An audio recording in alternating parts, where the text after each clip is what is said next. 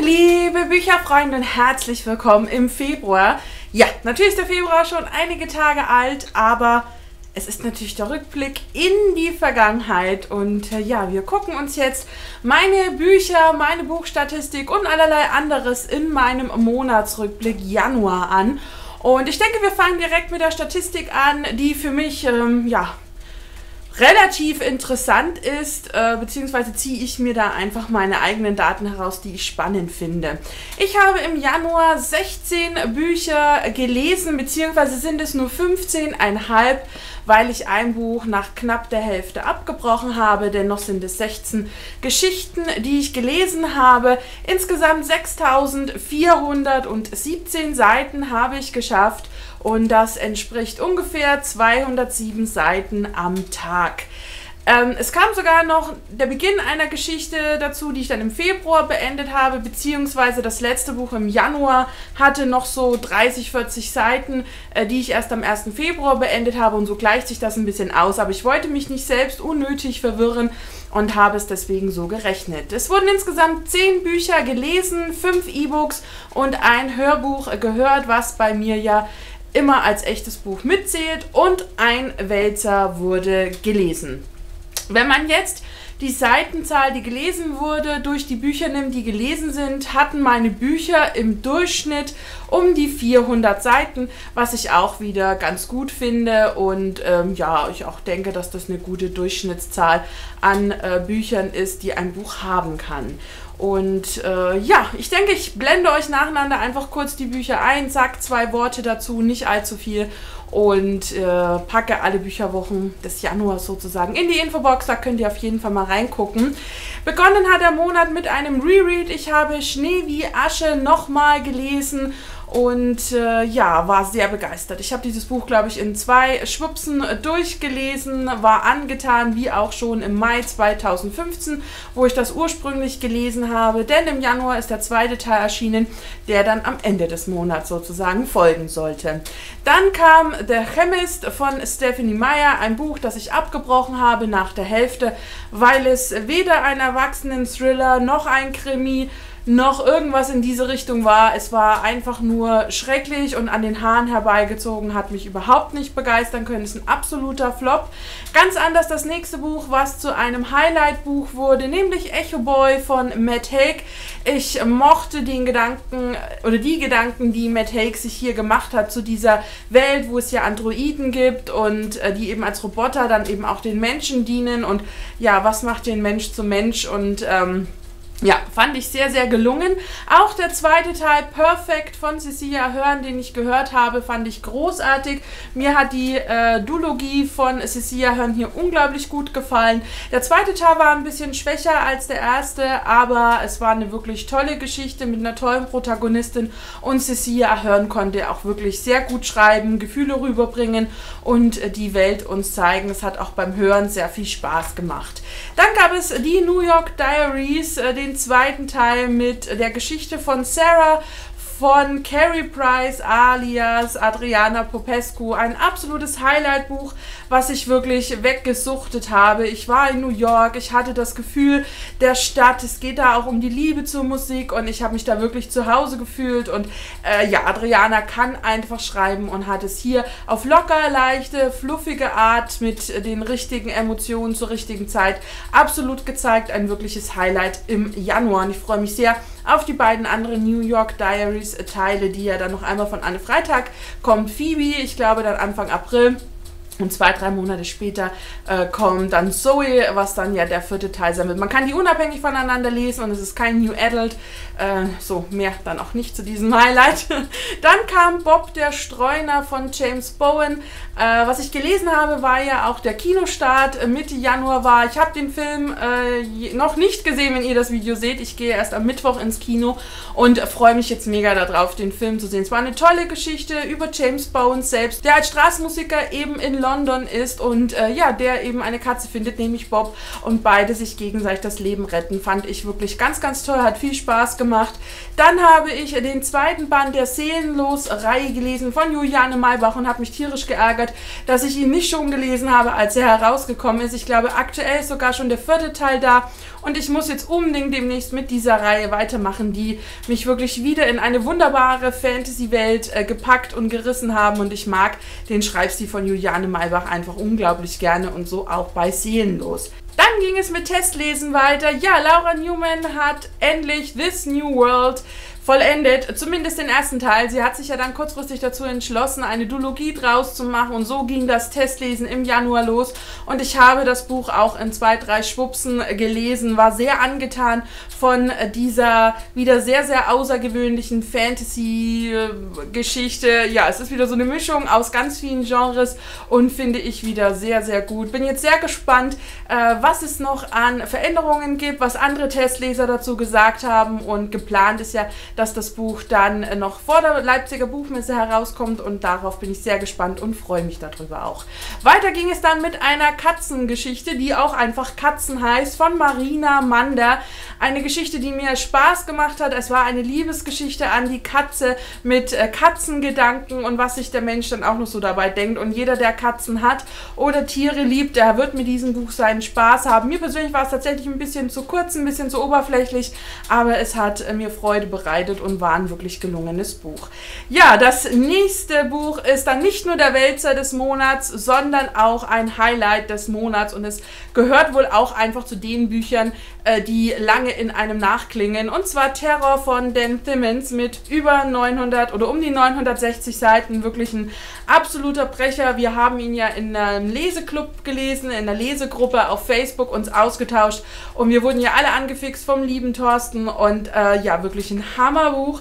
Und ähm, ja, es ist unglaublich kalt, während man dieses Buch liest. Es passieren Dinge, die man äh, irgendwie vielleicht erwartet, Dinge, die einen überraschen. Es, es geht an die menschlichen Grenzen und ähm, ja, an die Grenze des äh, Vorstellbaren. Es war großartig. Geplant ist, dass wir vielleicht im April Drood lesen, weil das Buch einige jetzt auch auf ihrem Sub haben und mich selbst würde dann auch noch der Berg äh, interessieren. Ich glaube aber, dass das dann tatsächlich eher was für Ende des Jahres ist.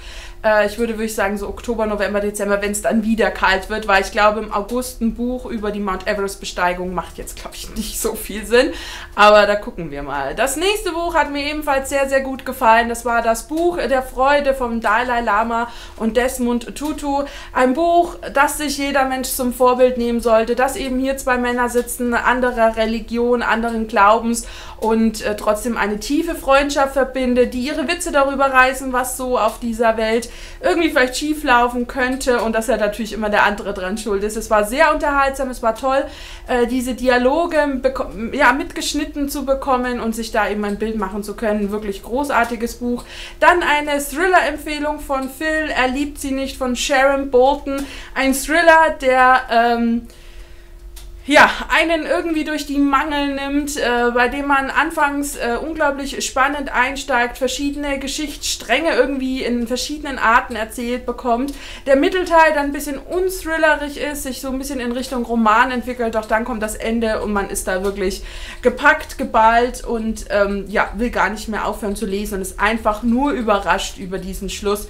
Äh, wirklich auch von mir eine Thriller-Empfehlung. Dann ging es weiter mit unserem Leseclubbuch äh, Delirium von Lauren Oliver, der Auftakt einer Trilogie. Hier geht es ja darum, dass äh, die Liebe etwas Böses ist, etwas ist, was einem mit 18 herausoperiert wird und man danach im Grunde mehr oder weniger gefühlskalt ist. Und wir haben hier eine junge Protagonistin, die kurz vor diesem Eingriff steht und äh, aber gedanklich sich denkt, irgendwie, ja, ist das wirklich alles so richtig, irgendwann daran zweifelt. Ein Buch, das mich ja schon irgendwie ähm, begeistert hat. Begeistert ist, glaube ich, zu viel, dass ich einfach gut fand, okay fand.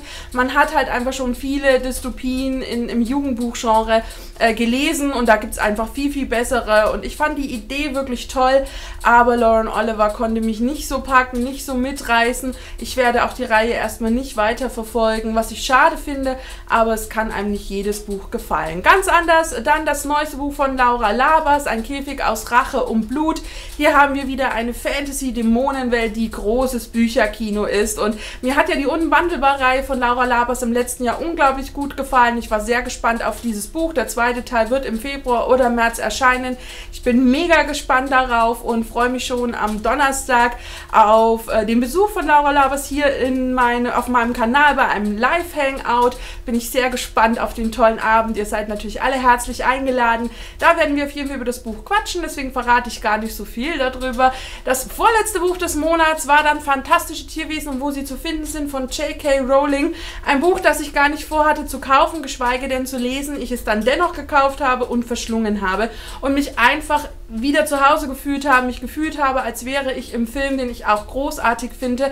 Denn die Geschichte spielt ja 70 Jahre vor Harry Potter und ist für mich dementsprechend eben einfach keine Fortsetzung, die irgendwas an Harry Potter kaputt machen könnte, sondern spielt einfach davor und äh, dann auch noch in New York. Und ich bin ein Riesenfan von Newt Scamander und ich mag auch den Schauspieler unglaublich gerne und war ja vom Film absolut angetan. Und der Junge hat nicht umsonst äh, schon einen Oscar und ähm, ja, das letzte Buch war dann eher so ein Okay-Buch, Eis wie Feuer von Sarah Rasch. Ja, wir beenden den Monat mit äh, der Autorin, mit der wir im beenden, ja, mit dem wir eben begonnen haben. Das ist der zweite Teil zu Schnee wie Asche und ich muss ehrlich sagen, so geil der erste Teil war, so schrottig war gefühlt der zweite. Es war ein schrecklicher Mittelteil einer Trilogie und die Autorin sagt das auch noch in der Danksagung.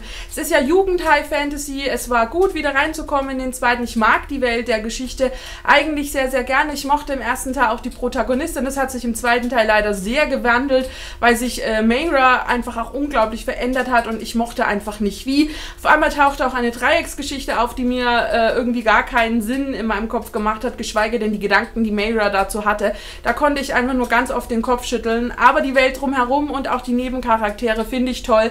Und äh, sollte der dritte Teil nicht erst irgendwann Ende 18 herauskommen, denke ich, äh, werde ich es weiterlesen, einfach der Neugierde halber. Aber ähm, ja, ich würde es nicht nochmal rereaden, wie es beim ersten der Fall gewesen ist. Ja, und jetzt sind wir auch schon durch mit den 16 Büchern aus Januar. Ich hoffe, der kurze Einblick war für euch soweit okay. Ich wollte einfach nicht die Bücher so komplett unter den Tisch fallen lassen. Und ähm, ja, bei den anderen Monaten habe ich ja so gar nichts zu den Büchern gesagt, was dann manche eben vermisst haben. Und äh, deswegen jetzt hier die 16 Bücher in Kurzform. Ich äh, bin absolut zufrieden. Ich glaube, man hat es auch gemerkt, bis auf so die zwei Flops war der Lesemonat wirklich sehr angenehm, wirklich äh, mit viel tollen Büchern, spannenden Geschichten. Und äh, ja, hat, hat mir gut getan, der Januar. Kann man absolut nicht meckern. Was gab es noch so ein bisschen an äh, Dingen, die man erzählen möchte? Eine Serie Serie, ja, die mir natürlich äh, großartig äh, gefallen hat im Januar war River mit Skellen Skarsgård. Hat mich eher Ende Januar total geflasht und begeistert. Auch eine Empfehlung von Thorsten. Und äh, läuft aktuell auf Netflix, ist eine Serie aus 2015. Da geht es um einen ähm, ja, Polizisten in Großbritannien, der eigentlich aus Schweden kommt, wo ja Stellan Skarsgård auch herkommt. Und der, ja, glaube ich, sich doch relativ untypisch benimmt für einen Engländer, ne? also in England sich untypisch benimmt, den seine Partnerin erschossen wurde und er jetzt diesen Fall so zu lösen versucht und da eigentlich relativ gut immer dran ist an so Fällen, hat, glaube ich, eine 80-prozentige Auflösungsquote und ihm helfen, ja, seine Wahnvorstellungen bei den Fällen. Er sieht nämlich tote Menschen, sehr oft die Opfer selbst oder auch irgendwie drumherum stehende. Äh, man trifft auch auf Kinder, die er trifft und äh, ja, sie sind sind aber tatsächlich nur in seinem Kopf, hat man äh, zumindest so Anfang das Gefühl, er ist selbst nicht tot. Also das äh, kann man schon mal spoilern, das geht auch relativ früh zu Beginn der Geschichte heraus. Es hat aber natürlich schon die Atmosphäre von einem Thriller, es ist sehr ausführlich, es ist sehr trotzdem auf, auf, auf Gefühle, man denkt viel mit, man ist mit dabei und das Herz schmerzt dann am Ende, äh, wenn tatsächlich die Auflösung in der sechsten Folge kommt. Es hat auch nur sechs Folgen, es gibt aktuell auch nur eine Staffel. Für mich ist die Geschichte von River auch erzählt und ich weiß gar nicht, ob da geplant ist, dass eine zweite Folge, also eine zweite Staffel irgendwie kommt. Ich fand es großartig und das Ende hat mich wirklich äh, komplett da niedergerissen. Auch eine Highlight in diesem Monat ist für mich Spotify. Ich habe Ende Dezember das Angebot angenommen, drei Monate Spotify für einen Euro und äh, genieße seitdem Spotify ohne Werbung. Ich kann, muss nicht immer alles per Shuffle hören, sondern kann Alben genau so hören, wie ich es möchte. Ich kann vor- und zurückdrehen, wie ich es möchte. Ich kann endlich auch ähm, Repeat drücken. Das geht ja mit dieser Werbeunterstützten auch nicht. Und ich finde es großartig. Ich finde es ganz, ganz toll. Ich habe fast keine CD in dieser Zeit gehört. Ich habe ja auch meine Bluetooth-Box im Wohnzimmer stehen. Habe ja auch gar keinen CD-Player im Wohnzimmer mehr, nur noch in der Küche ein. Ich äh, habe mir jetzt äh, so einen Bluetooth-Adapter fürs Autoradio gekauft. Äh, den muss ich noch ausprobieren. Und äh, ja, also ich liebe es. Ich finde, das ist genial. Für 10 Euro so viel Musik, wie man möchte. Es gibt auch Hörbücher, habe ich gehört. Und äh, vielleicht höre ich da auch einfach mal das eine oder andere, wobei ich da schon mitbekommen habe, da kann man wohl die Geschwindigkeit des Sprechers nicht verändern, was für mich halt so gar nicht geht, weil ich mit einer normalen Sprechleistung der Sprecher einfach nicht zurechtkomme, weil mir das tatsächlich einfach zu langsam ist und dann ich auch schnell die Lust verliere am Zuhören. Aber ja, ne, es wäre ja in den 10 Euro drin, dementsprechend könnte man das natürlich mal ausprobieren. Ist von mir auch eine absolute Empfehlung. Ich weiß noch nicht, ob es das Angebot aktuell gibt, aber selbst diese 9,95, was es sonst kostet, finde ich es absolut wert, weil man hat gefühlt jede CD, jedes Album, auch alte Dinge. Man kann einzelne Songs hören, wenn nur Singles raus sind. Also es gibt auch Playlists, äh, da kann man zum Beispiel von Laura Newman die Schreibplaylist hören oder zu den New York Diaries gibt es eine Playlist vom Knauer Verlag und das finde ich einfach großartig und da kann man einfach reinhören und das dann auch genießen. Dann auch ein Highlight war La La Land, äh, ein genialer Film, der nicht umsonst Oscar nominiert ist und das gleich 14 Mal. Eine großartige Geschichte von zwei Menschen, die unterschiedlicher nicht sein können, die sich in einem Punkt in ihrem Leben treffen, der nicht schlechter sein kann, trotzdem sich eine Liebesgeschichte entwickelt, die dann aber endet, wie man es nicht vorhersieht und dann nochmal ein Ende hat, wo man denkt, es ist irgendwie es schmerzt, es tut weh, aber es ist irgendwie richtig und es fühlt sich echt an und man denkt sich, so ist das Leben manchmal. Und es klingt total doof, dass man total verzweifelt, mit gebrochenem Herzen, Tränen überflutet im Kino sieht, sitzt und sich trotzdem denkt, irgendwie passt es, irgendwie ist es richtig und man ist wirklich geflasht. Von den Tanzszenen, von den Musikszenen, vom Klaviergespiele von Ryan Gosling. Ich mag die beiden Schauspieler unglaublich gerne und ich war wirklich hin und weg, hätte danach direkt Lust auf Jazz gehabt, was ich sonst tatsächlich nicht habe. Aber der Film hat mich einfach gepackt und mitgerissen. Auch der Soundtrack dazu, der seitdem wirklich bei mir auf Spotify hoch und runter läuft. Ich mitsinge, mitträllere, manchmal mitten beim Geschirrspülen auch mal eine Drehung hinlege, weil ich denke, oh das Leben braucht einfach Musik und Tanz.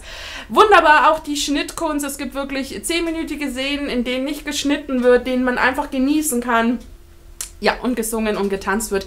Wirklich großes, großes äh, Filmkino und ich hoffe, dass so viele Oscars regnen wie möglich jetzt im Februar, weil der Film hätte das absolut äh, verdient. Auch äh, grandios war das neue Album von One Republic, Oh My My, äh, das ich auch auf Spotify gehört habe, schon die äh, letzte, im letzten Jahr angefangen habe, mit den einzelnen Songs immer wieder zu hören. Ich es großartig finde. Ich liebe Ryan Tedder und ich finde das toll, was er aus der Musik herausholt, dass sich das irgendwie immer anders anhört, aber dennoch nach One Republic, ich finde, die haben so einen ganz erkennbaren Stil in der Musik und ich mag die Musik einfach unglaublich gern. Ich mag die Stimme von Ryan Tedder und ich finde, wenn es äh, so eine Gruppe schafft, ein über gefühlt zehn Jahre, glaube ich, gibt es die ja jetzt schon, wirklich zu führen, mitzunehmen. Es begann ja alles mit Apologize, was auch großartig war. Und ich bin da absolut hin und weg und wirklich äh, sehr, sehr begeistert. Und es gibt ein Medley von Peter Hollins mit irgendeinem anderen Sänger, äh, der so die letzten zehn Jahre die Songs von One Republic Revue passieren lässt. Und Peter Hollins ist ja ein Musiker, der alles mit der Stimme macht, also keine Instrumente oder sonstiges Lustiges.